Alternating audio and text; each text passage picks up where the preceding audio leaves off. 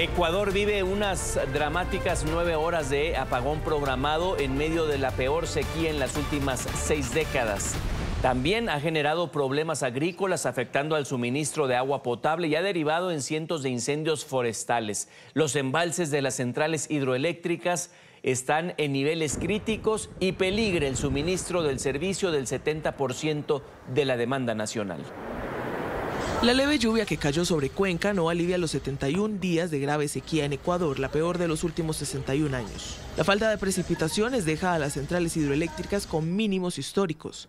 Así se ve el caudal que alimenta las hidroeléctricas Mazar, Pautemolino y Sopladora, que producen cerca del 40% de la energía eléctrica nacional. El gobierno de Daniel Novoa anunció la suspensión del servicio de energía eléctrica en zonas determinadas con el fin de precautelar los recursos hídricos.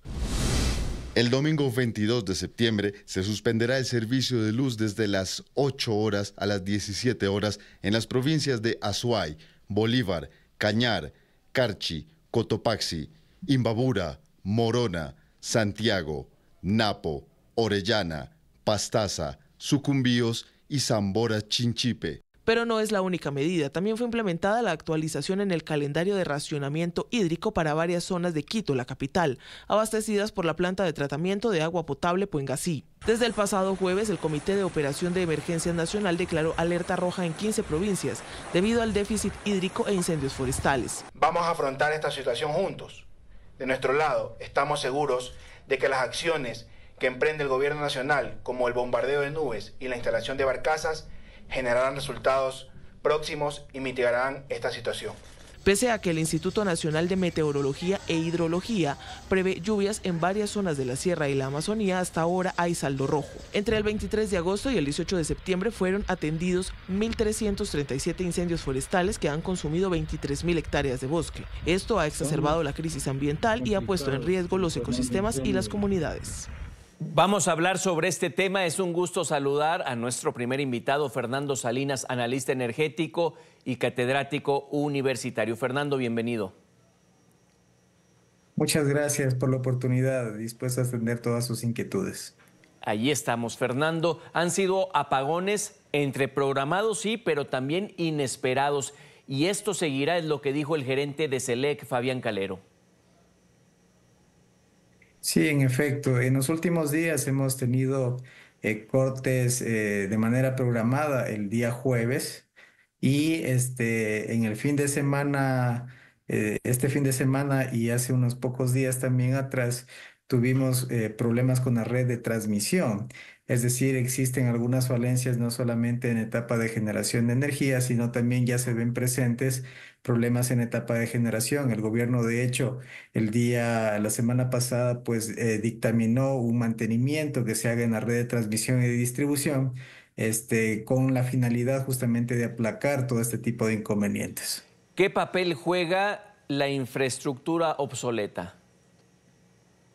Sí, en etapa de generación, en especial nuestro parque térmico, eh, ya tiene alrededor de entre 30, 40 y algunos inclusive un poco más de años eh, esto coadyuva para dos temas particularmente. El uno, que eh, la indisponibilidad de ese parque generador sea mayor. Evidentemente, un parque generador con esa cantidad de años es un poco complicado hacerle el mantenimiento, especialmente por las piezas que se tienen que reemplazar en los overhaul mayores. Y por otra parte, también pues eh, impacta también en el tema de la red de transmisión. Y aparte de eso, pues en el tema de los costos, que este, se incrementan en el momento de hacer el mantenimiento.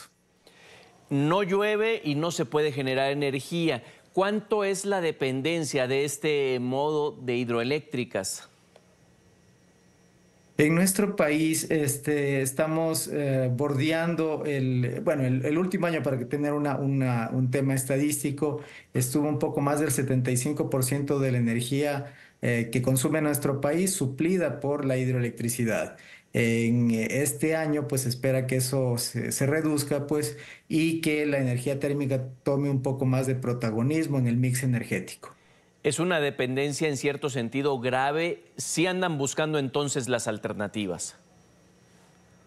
Sí, en, digamos, todo país, digamos, por más que tenga un, tipo de estiaje o de sequía, eh, digamos que marcado, eh, agudo, tiene que tener de hecho diversificado su matriz energética, su mix energético de tal manera que no existan este tipo de inconvenientes y suplidas con diferentes tipos de fuentes de energía, pues abastecer de una manera adecuada y técnica a las necesidades energéticas de la población. Eh, eso básicamente nuestro país de alguna manera ha tratado en los últimos tiempos, específicamente en el último, la última etapa del gobierno de, del presidente Novoa, de eh, modernizar un poco, diría yo, el parque térmico nacional. Eh, están hablando de alrededor de unos 1.400 megavatios que entrarían hasta el primero o segundo trimestre del próximo año, con lo que se pretende de alguna manera aplacar este, esta crisis de generación que tenemos actualmente. Es decir, eh, no depender tanto ya del tema hidroeléctrico, sino también pues de la parte térmica, con especialmente combustibles que produce nuestro país como el fuel oil o como el tema del gas natural que también está prevista una adquisición de motores de combustión interna con ese tipo de combustibles. ¿Qué grado de responsabilidad tiene también el legislativo, las cámaras, para esta exigencia de alternativas? Sí, en efecto. Bueno, el, eh, sistema nacional en nuestro país pues es más bien dependiente del gobierno ejecutivo, pero eh, si es que vamos a la parte legislativa, de hecho hubo una colaboración a principios de año entre el Ejecutivo y el Legislativo para desarrollar un nuevo proyecto de competitividad energética que eh, se le denominó inclusive Ley No Más Apagones eh, pero que los resultados de este tipo de legislación se los va a ver no en el corto plazo, no en, en cuestión de meses, sino más bien en cuestión de, diría, uno o dos años en los cuales pueda sentarse también la parte normativa y la parte regulatoria que dependen, ¿no es cierto?, de la parte legal. Es decir, este es un tema básicamente del medio y de largo plazo, donde recién allí podremos ver los resultados de algo que está de alguna manera escrito en esta ley y que es la apertura al sector privado para que invierta en un sector que era denominado o es denominado algún, por la constitución del, país como un sector público y estratégico. Algo muy relacionado y como experto le pregunto, eh, el bombardeo de nubes, eh, ¿qué le parece esta técnica? Porque también hay muchos incendios. Sí, eh, se han anunciado, de hecho el año pasado también se anunció una especie de bombardeo de nubes, que no es más que eh, bombardear las nubes con algún tipo de elemento químico eh, que permite de alguna manera que las lluvias sean un poco más abundantes, pero la condición, digamos, para que se haga este tipo de actividad es que exista nubosidad en el ambiente, cosa que en nuestros últimos días, especialmente en la serranía ecuatoriana, en la zona suroriental, donde están las principales centrales hidroeléctricas de nuestro país, pues no ha existido estas nubes y yo creo que eh, todavía no se pueden ver de alguna manera los resultados ni tampoco actividades como estas. En la medida que en octubre, tal vez en noviembre se presentan ya algo de nubosidades, pienso que estas actividades pueden tomar un poco más de fuerza y se puedan ejecutar en beneficio de que existan mayores este, precipitaciones en estas centrales hidroeléctricas y esos embalses. Fernando, el recurso de solicitar energía a otros países, quizá vecinos como Colombia, ¿está en el panorama? Sin duda, los enlaces internacionales de energía que tenemos tanto al norte con Colombia como al sur con Perú coadyuvan para que exista una mayor seguridad energética y también para que exista una adecuada este, operación entre los sistemas, porque ningún sistema es 100% confiable. Eh, los enlaces operativos con Colombia y con Perú están operativos. El de Perú, digamos, este, tiene algún tipo de elemento con el cual no nos podemos conectar directamente, sino ah, haciendo una isla con la provincia sureña de nuestro país de, de Loro para que se conecte al sistema nacional de Perú, pero con Colombia, en cambio, sí tenemos una eh, potencia, digamos, disponible para nuestro país de alrededor de 450 megavatios, que siempre, digamos, estamos haciendo este intercambio de energía y en el caso de estos últimos tiempos hemos estado eh, importando mucha energía, especialmente por ese... Eh, por esa línea de transmisión y nos permite inclusive hasta 450 megavatios de potencia, pues hacer uso de esta de, esta, de este enlace internacional de energía. No comprometerlo con cifras, Fernando, pero el tema de impacto al desarrollo de la economía, desde luego, es una preocupación.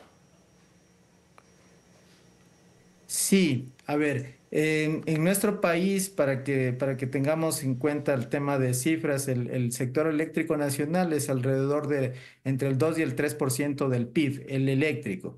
Eh, por otra parte, la afectación que tiene ya en la economía es bastante grave. Las cámaras de comercio y de producción de nuestro país, en el último episodio de crisis energética que tuvimos en el mes de, de marzo, de este año 2024 ya dieron una cifra, y es una cifra bastante considerable, que es de 12 millones de dólares por cada hora que no tenemos eh, fluido eléctrico normal. Es decir, al, día, ejemplo que estamos anunciando de alrededor de 8 horas, pues tendríamos una afectación bastante considerable por, por día, ¿no? Una última, ya no como especialista, quizá como ciudadano, usted está ya en Quito, por cierto. Eh, el tema de seguridad, preocupa a la gente. Ya incluso se impulsó el uso del silbato para alguna emergencia. La seguridad está anclada al tema de la energía, específicamente porque es un elemento que coadyuva primero al tema del alumbrado público y luego porque también posibilita todas las telecomunicaciones para los centros de emergencia.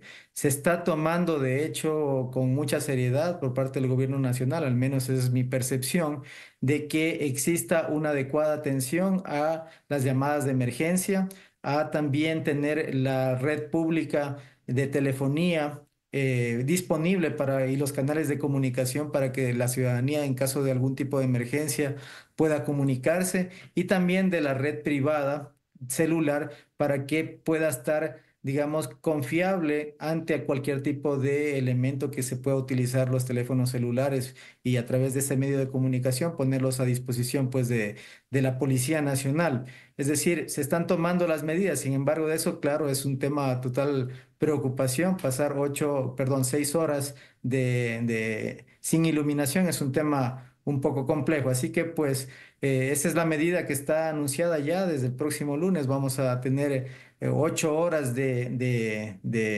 eh, cortes de energía desde las 10 de la mañana hasta las 6 de la mañana. Perdón, desde las 10 de la noche, 22 horas hasta las 6 de la mañana del próximo día. Y pues eso es algo con lo cual la ciudadanía pues tiene que estar de alguna manera prevenida. Imagínese, las cámaras de seguridad no funcionarían. Fernando Salinas, muchísimas gracias por su tiempo. Un gusto por el espacio, pues siempre a la orden para poder informar a la ciudadanía acerca de este importante tema. Un gusto eh, para la audiencia de NT24.